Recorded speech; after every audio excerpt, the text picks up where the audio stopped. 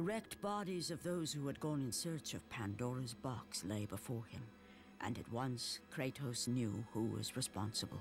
For this was not the first time he'd seen the ruined Ares and his minions had left in their wake. Kratos had experienced it firsthand years before. The youngest and boldest captain in the Spartan army, Kratos inspired fierce loyalty in his men. It had always been enough to carry them through any battle, until this day. The barbarians to the east numbered in the thousands,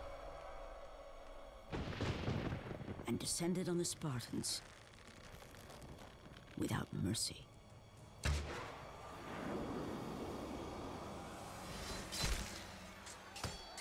The battle lasted near hours.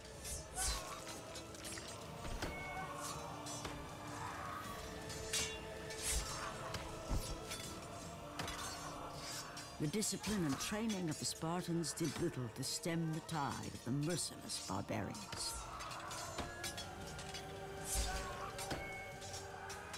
The soldiers faced a massacre, while their young captain faced the end of his brilliant career and his life. But to Kratos, victory was worth any price, even his soul. Ares!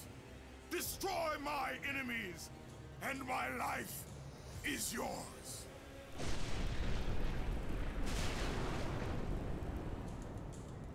That desperate call for aid would come to haunt Kratos for all his days. By the gods, what have I become?